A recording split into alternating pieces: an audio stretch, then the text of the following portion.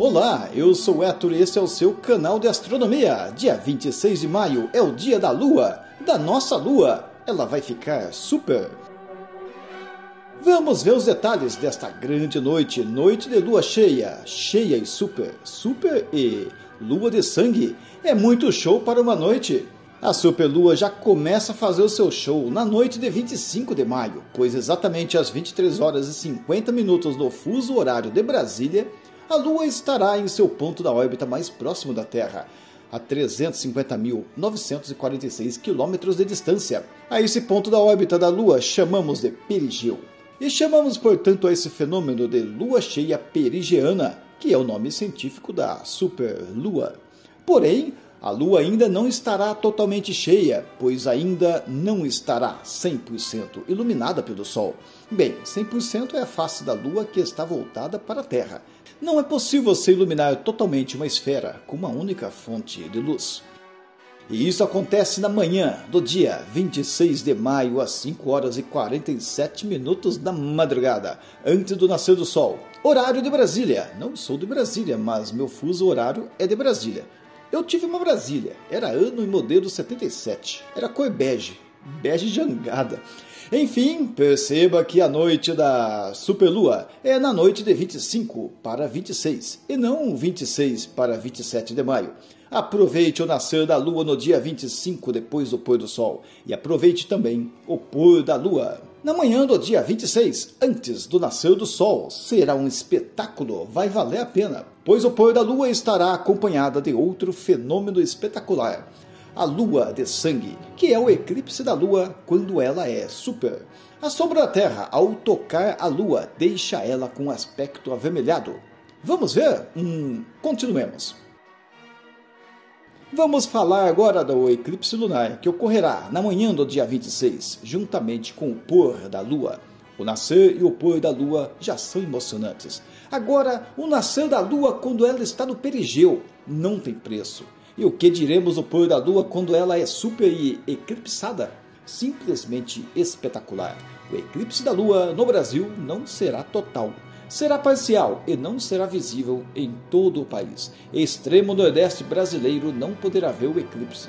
Como o evento do eclipse vai acontecer no pôr da lua, pode ser que você também não veja, caso o seu horizonte oeste esteja obstruído. Dois super eventos em uma única noite. É demais!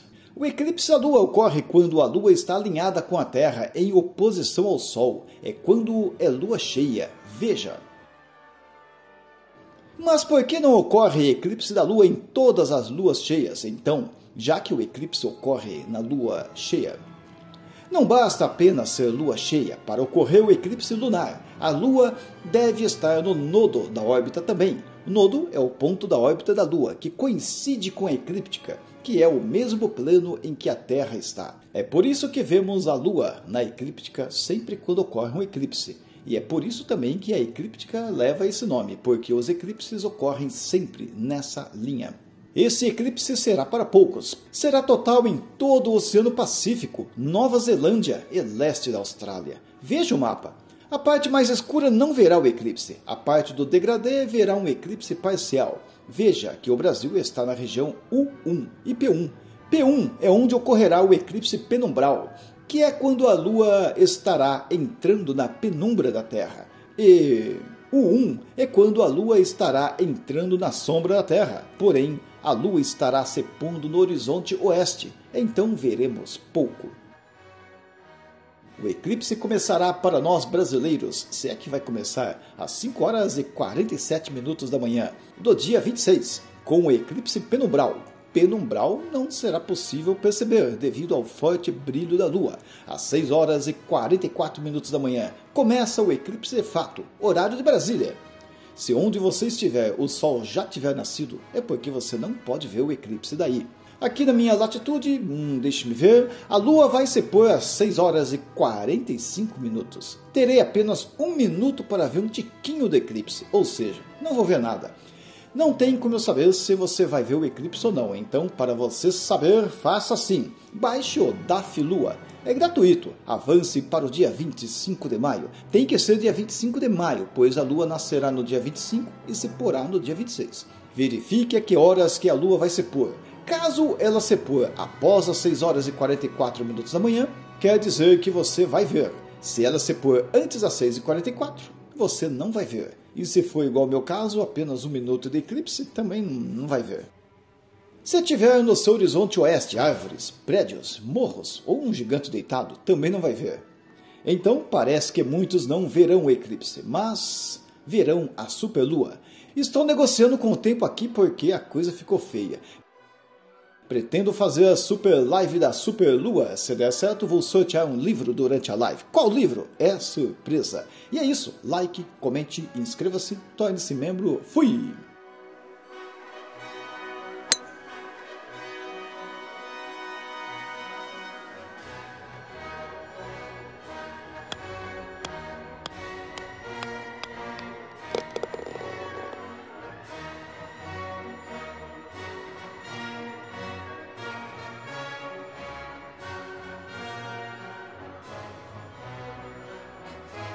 Faltou o cálculo do tamanho da Lua e do brilho.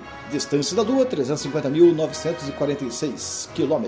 Raio da Lua, 1.737 km. Tangente do ângulo θ por 2 é igual a tangente do cateto oposto do pelo cateto adjacente. θ por 2 é igual a 1.737 km dividido por 350.946 km. Tangente de θ por 2 é igual a 0,00494494. Arco tangente de θ por 2, 028, 358, 19, 65, 15, 96. Θ é igual a 0,56.